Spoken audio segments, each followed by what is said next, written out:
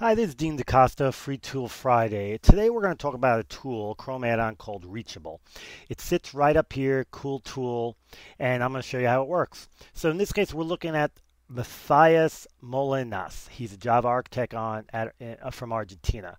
This is the reachable thing. I've already highlighted his name. I'm also going to right click and copy just in case.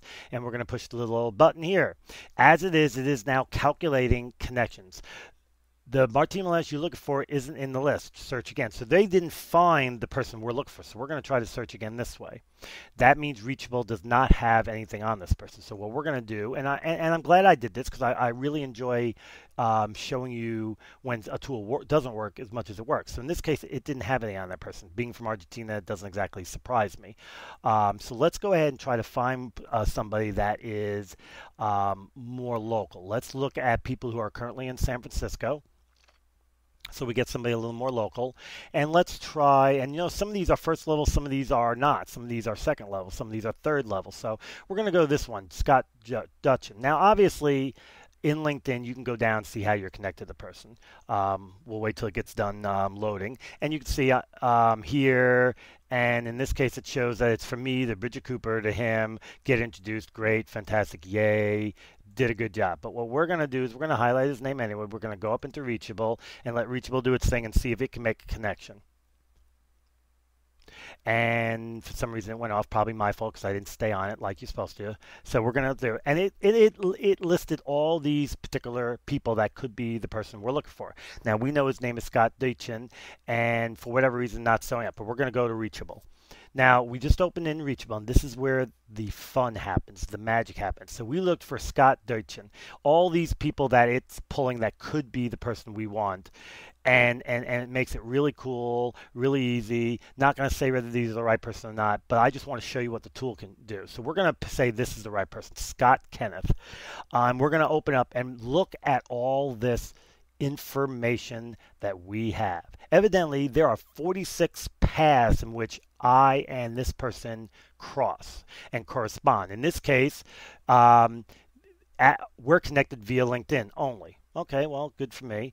Uh, and and basically, it's me from it's me to Jason to to Sancho Thomas to him, and then this tells me a little bit about the connection. Jason Mazzara is this. This is to tell me about my other connection. That's good.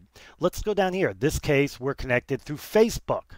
So that means I'm friends with Chris Hoyt on Facebook, and this is about Chris Hoyt, who's friends with Robert Robert whatever to Ken Scott. So now I have a way to connect with them outside of LinkedIn. Facebook to them. Down here, Glenn Gardner, I actually have an email address associated with this person. That connects me to him. That connects me to them. This particular one, let's see how he is. He's LinkedIn. He's Facebook friends. So we got Facebook friends, we got LinkedIn friends. Uh, we just got so much information. This one here lets us know that we have two people from Chris Hoyt that can get us to the, to this person. This case, we got three people that can get us to this person. It just gives you so much more information than you realize. Now, here's the fun part. Let's think about this. My rule of thumb is always if you're really good at what you do, you're connected to other people that are really good at what you do. Now, let's remember in this particular case, my connection to this person's on Facebook that person's now connected to these two people who are connected to the, to Scott. Well, you know what? Guess what? These people are probably can do something very similar or related to Scott to this particular Kenneth Scott. So they might be candidate potential candidates you want to consider. But look at all the ways we're connected to this to this person. A lot more than you probably realize. I mean, this one I'm sure is LinkedIn because there's a picture. Nope, it's Facebook. So there's Facebook. I have an email address as well as being connected to LinkedIn with them. Um, this one down here, just an email address. Uh, this one here, we're connected through Facebook. And believe me, if it's other places than just Facebook and LinkedIn, it does pull them. But look at it. Every connection, every way that you can imagine to get there. They're saying the best is 63. They're saying this is my best way to connect to them. It's got the highest success rate. Odds are because it's a combination of being LinkedIn, then a combination of having two or three other people I'm connected to them with. You get to see a little bit about the person without actually having to get into them, uh, which is really good. Let's see what happens if we see details and look at this information. It brings you over here.